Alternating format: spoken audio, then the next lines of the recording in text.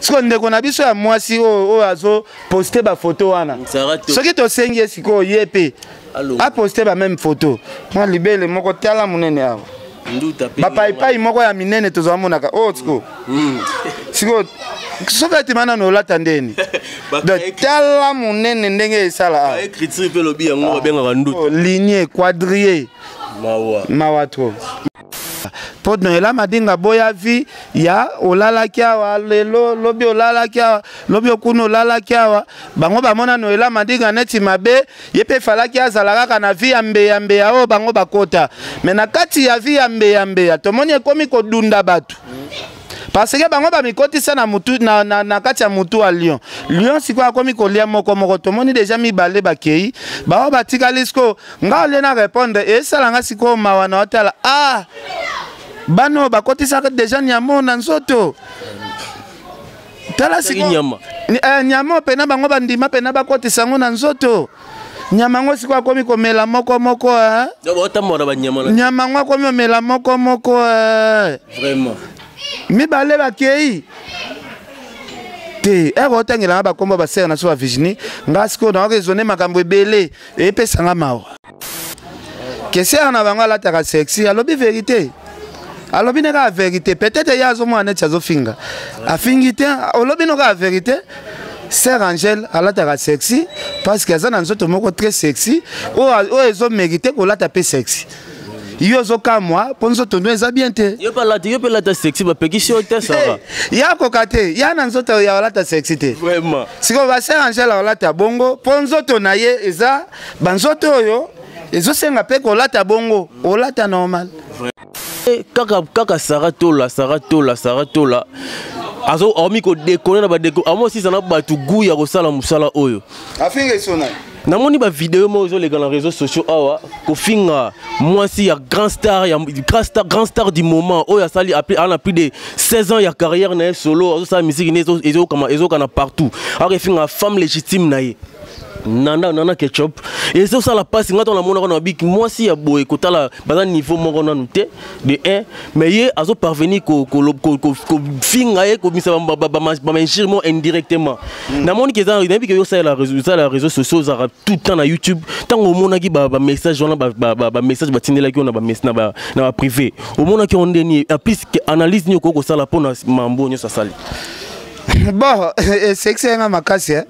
eh, bayebisi nga babi ken ozolanda mwa mwasi wana te ndenge azofinga mama nalaki ya chef nga kanisa efi mwa boye aza na vierge ayebi eloko te nde azofinga mama na na ketchup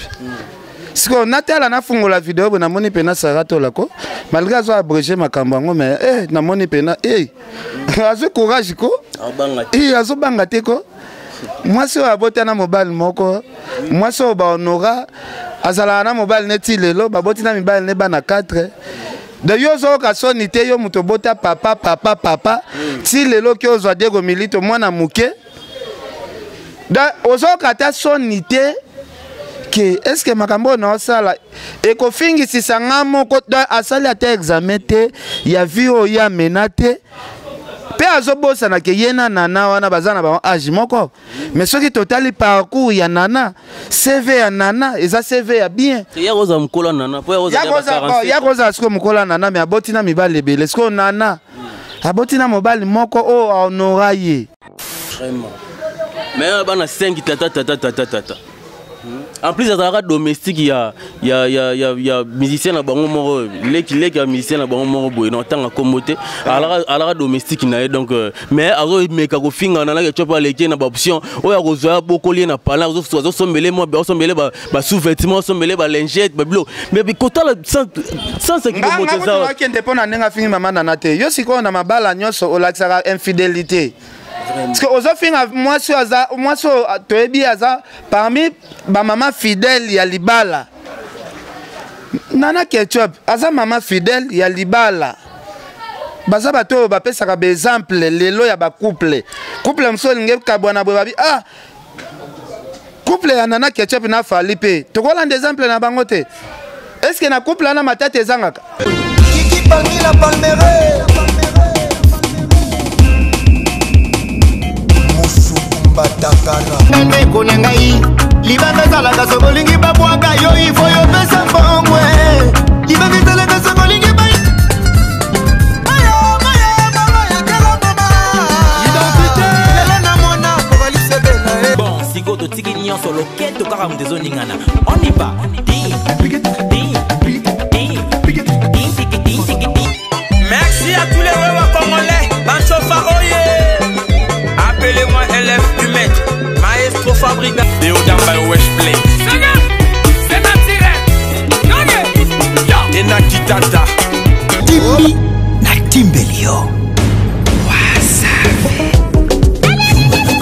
te nyonso bazalaki wana tomonaki mpe yo mpe ozalaki wana mais mampata asali yo surprise moko boye alobi euh, cette fois ci outaki paris okozala naye mpe kuna na états-unis idée wana mampata azwaki esali yo koma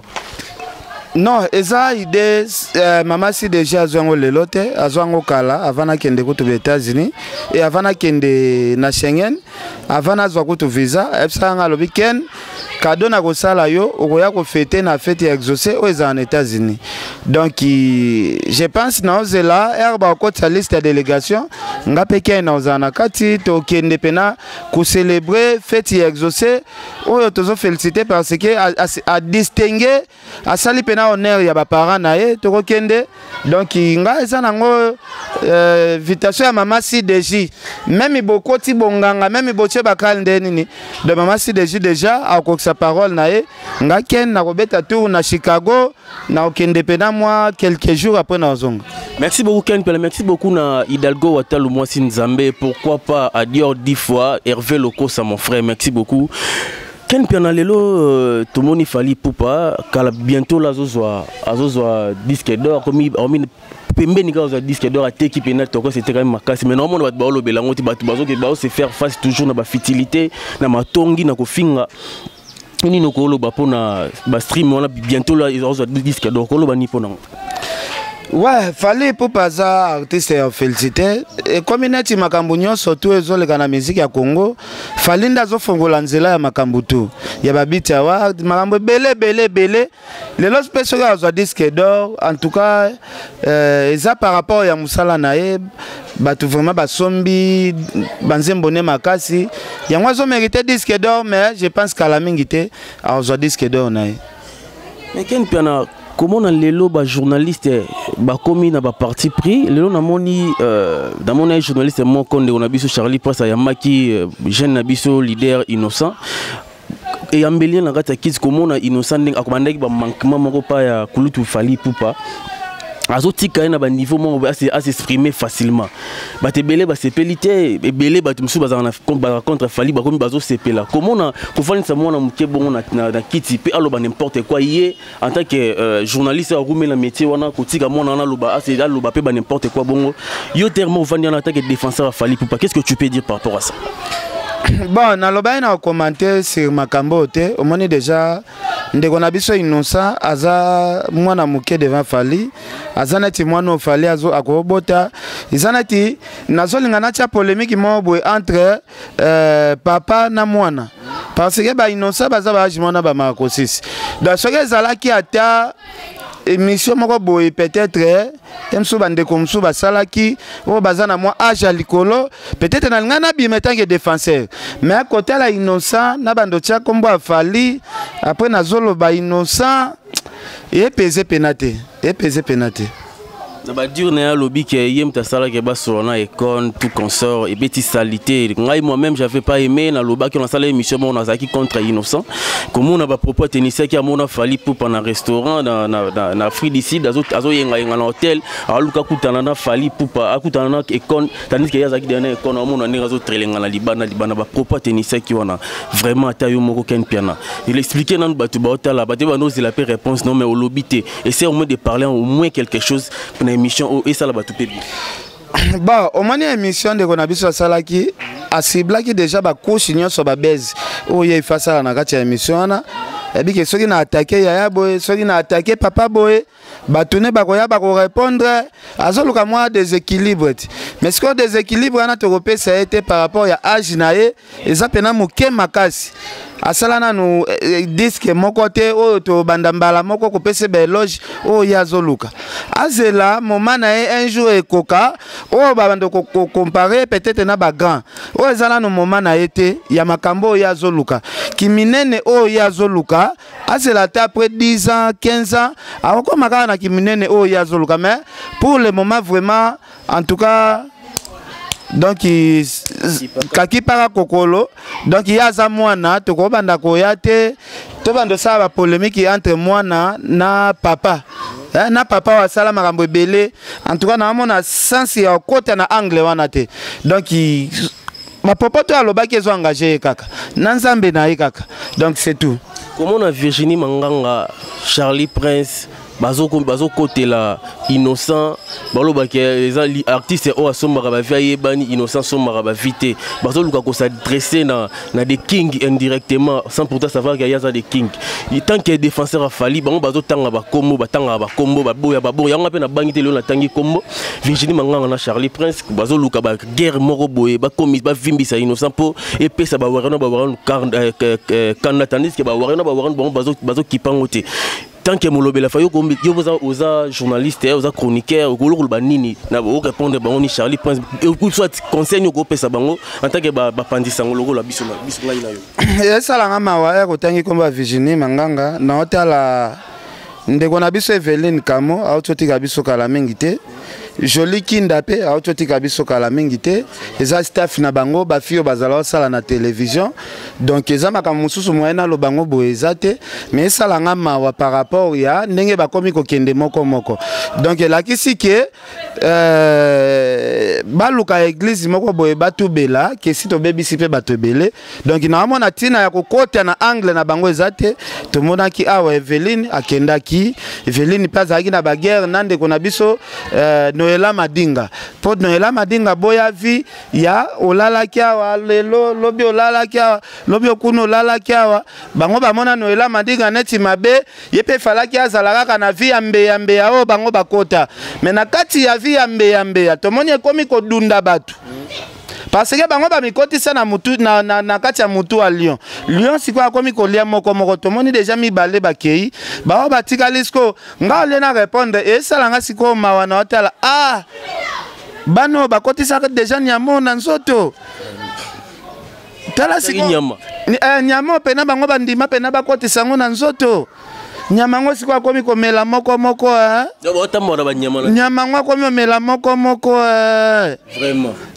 mibale bakei te eko otangela nga bakombo ya basere na so ya virginie nga sikoyo nayoka ezone makambo ebele epesa nga mawa merci beaucoup euh, tozo tozo continuer mission na biso mais eloko ezo sala pas eloko ya mboya bango bazalaka kota ba fenêtre moko bango nyoso oyo aya koti na 12h oyo mosusu aya akoti 18 heures oyo mosusu aya akoti na memi fenetre wana 22 heures sikoyo fenetre wana eh, oke bazala kota na monoko ya nyama moko boye nyama wana deja azotambola bango na nzoto sikoyo akomi komema bango moko moko merci beaucoup sikoyo idée oyo bawario na bawario bazwi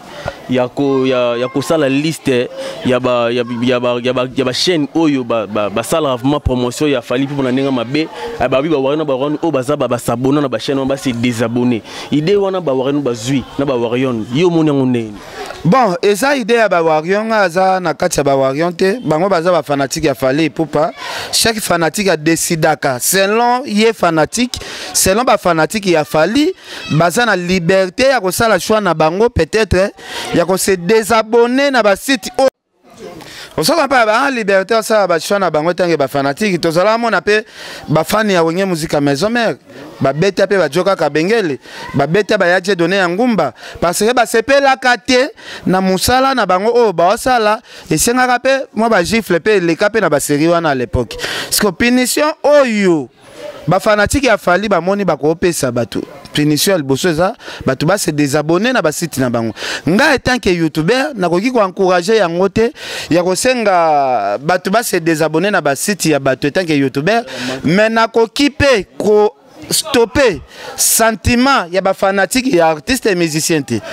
donc ozo comprendre mais nakozala wana mpe te natya mungwa na pilipili mpo na kobeta se te ke bosabone baabone bolongwa te te te te eza mosala oyo biso tolelaka donk bango moko basala shoi na bango kote wana mpena eza shoi oyo etali nga te na otyela yango commentaire te merci beaucoup euh, sujet euh, actualité du, du, du moment eza ke tomonaki biso nyonso na réseau soso nde makambo ezoleka tomoni bongo namonaki concert na biso oyo namonaka namonaka mona ye kaka sara tola bamanquement barespect oyo akomi nango na minute pour le moment namonaki asali baémission azo atiaki photo ya grande sœur na biso aza grande sœur ya ken piana aza mpe grande sœur na biso nyonso tu mpo ken piana na aza vie na biso aza grande sœur na ye mpe grande sœur na biso nyonso tu komona kotya ba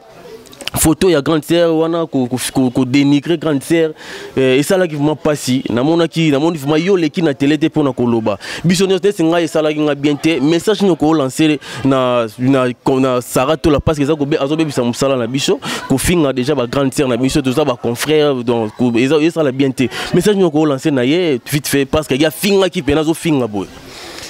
ba peut-être eza kozanga koyeba mwasi ya kitoko abangelaka nzoto ne ata parti moko te mwasi ya kitoko akotikala na complet sous vêtement na ye akangi photo tomona yango kaka teke epa bafi ya banigérien ndenge bapostaka na bainstagram tout ça basud africaine bango bakóma neti basi ya kitoko lelo ya afrique pourquoi pas biso mpe bacongolais parce que lelo bacongolaise ya danger mpe bazali oyo bakobanda mpe kopose bafoto ya danger mpe parce que foto ya mabe ezalaka kotikala nini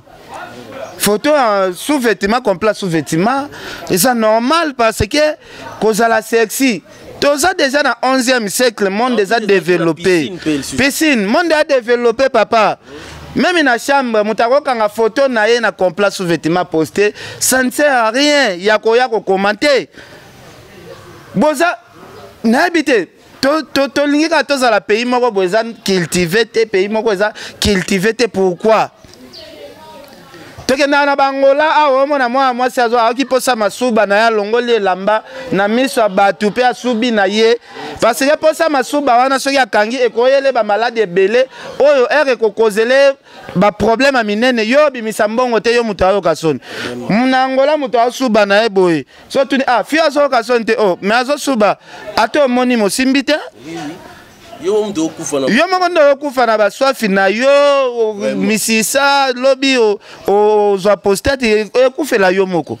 ye ayoka soni te sikoyo ser soki alataka ndenge alataka akendaka ya mwa pisini na ye parce que asesantaka aza alaise akolata ndenge nyonso alingi akolata ata na congo akolata ndenge nyonso alingi parce que wana parti moko ya nzoto te oyo ye azokela soni mais siko ndeko na biso ya mwasi oyo oyo azoposte bafoto wana soki tosengi ye sikoyo ye mpe aposte bameme foto mwa libele moko tala monene awa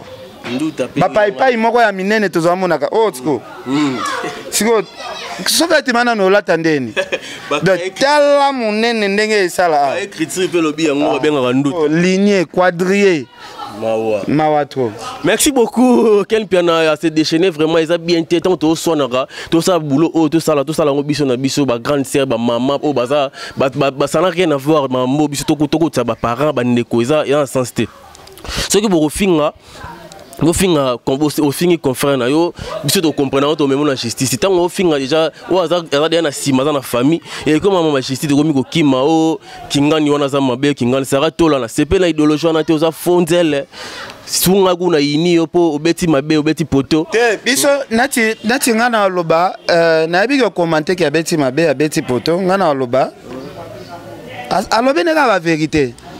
kesere na bango alataka sexy alobi verité alobi nde kaka verité peut-être ye azomona neti azofinga afingi te olobi no kaka verité sœur angèle alataka sexy parce que aza na nzoto moko très sexy oyo ezomérite kolata mpe sexy yo ozokamwa mpo nzoto no eza bien te yo mpe olata sexy bapekisi yo te sava eh, ya koka te ya na nzoto ya olata sexy te vraiment sikoyo baser angela olata bongo mpo nzoto na ye eza banzoto oyo ezosenga mpe kolata bongo olata normal vraiment merci beaucoup euh, esili wana te kaka kaka sara tola sara tola sara tola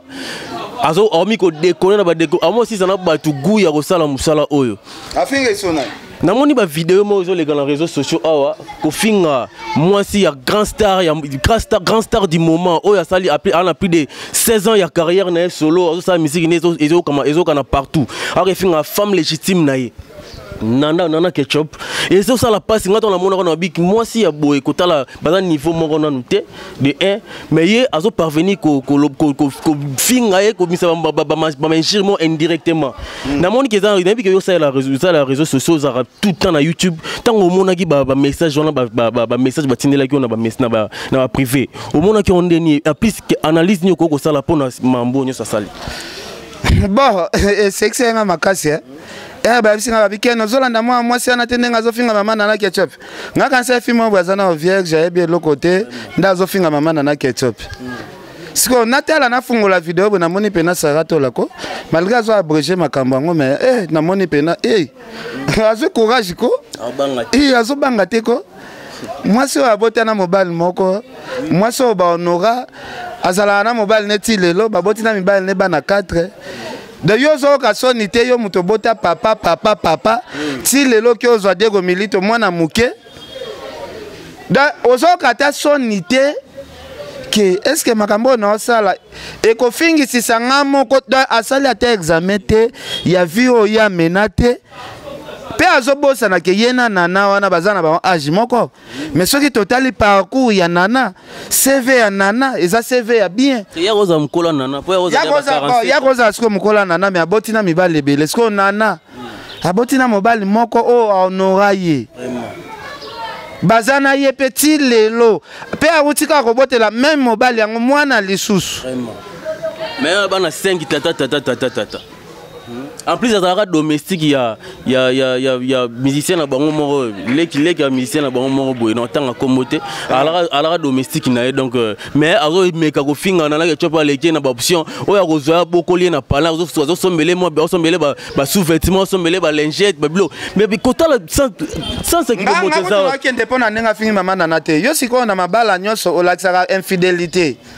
Parce que ozo finga mwasi aza mwasi ah, toyebi aza parmi ba maman fidèle ya libala.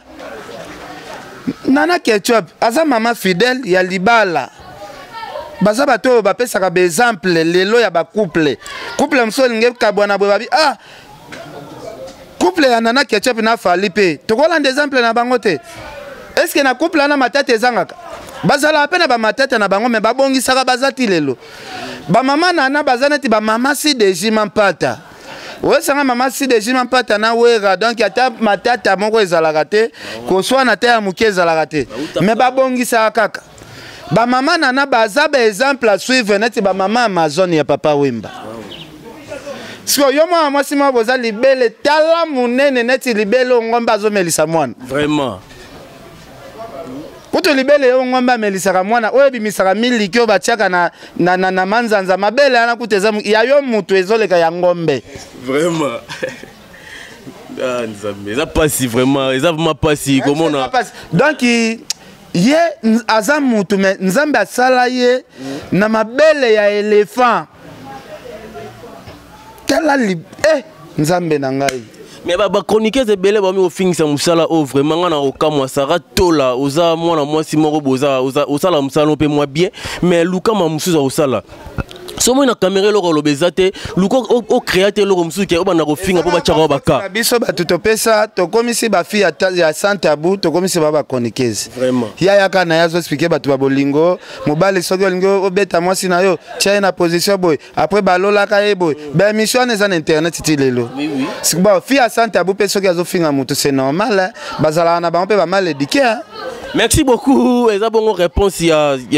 ya, ya défenseur valable ya Fally Poupa Ken Piano euh, mutu oyo mpena défendre Fally Poupa valablement na monde banyoso bayebi euh, biso nyonso tolandaka lokolo babi oyo akotya akotya akotya totye donc des fois te on est ensemble tosala mwa entre parenthèse mpo tokomi na suka émission na biso namoni video moko esirkulaki na tele komona bogis bompema oyo azalaki bongo moko ya musicien ya, ya jb mpiana komona ye asali émission azodenigre euh, weranson koloba ke werrason aza antivaleur asala banzembu moko boye ti lelo banzembu werrason apesa ye mbabonga banzembu na ye te komona ingire bongo na tele asala émission na poto tanke epai ya leader oyo aza, aza camarade ya, ya ex patron na ye eh, jb mpiana message nini eske okoloba nini okoloba nini par rapport à ça komona injure wana kobenga werrason antivaleur antivaleur na tele okoloba nini mpo nango bon nga eloko esalaki nga bien ere azo reconnaître ke poto oyo yake na bana na mwasi eza jibe nde motu atiaki ah, bamoyen na yange mpo ye akende poto donc ngai nalobaka abogisi ose trompe parce que mbongo ya jibe eza mbongo ya wenge mbongo ya jibe eza mbongo ya wera mbongo ya wera eza mbongo ya jibe parce que bango nyonso tu baliaka kaka mbongo ya wenge er yo oke na mbongo ya jibe poto seke elakisi oliaki deja mbongo ya wera po mbongo wana yo olie eza mbongo kaka ya, ya, ya, ya, ya mutu ya wenge donc moi beaucoup de respect esalaka biso esala biso toujours bien toyebi ke ozo revendiquer badroit na yo vie nanga weranson libere badroit na ye mpe azo revendiquer mais badroit yango mpe barevendika yango na impolitesse ya boye te oyo obogisi ozomema donc oyo ekomi impolitesse ah, ekomi impolitesse bogisi mpe osali emission wana obosaki nanu monoko te solo ya minu na yo ezoyokana ntina batelefone na biso soki totie emission totala solo ya minu na yo bogisi munoko solo na yo na batelefone na biso ekomi olumba solo soki totie émission na yo totala ce n'est pas gentil merci beaucoup tokomi na suka émission na biso bozalaki ebele liboso ya baposte ya télévision oyo bolandi émission oyo merci surtout na adel binda Moi ça zanga mikuwa del binda yo nde yo yebi donc on est ensemble. Ken panto na suka émission na biso mot de la fin euh, quelques salutations soko za nango pour nous repesa bat bazo landa biso par dans le monde.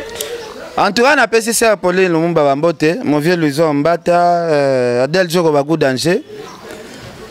Shadak le grand manager, Prince Yaweli, bato tout balande biso pena merci na bino, merci na yo pe ndenge tosala émission bien. Donc merci beaucoup. Merci beaucoup, ça n'est fini pour aujourd'hui. Merci beaucoup, na Hidalgo, Atal, Mouassin Nzambe, pourquoi pas Hervé Locosa, Dior, 10 fois, des États-Unis, on est ensemble. Tokutana, très prochainement dans une autre nouvelle édition de notre émission. Bye bye. la palmeraie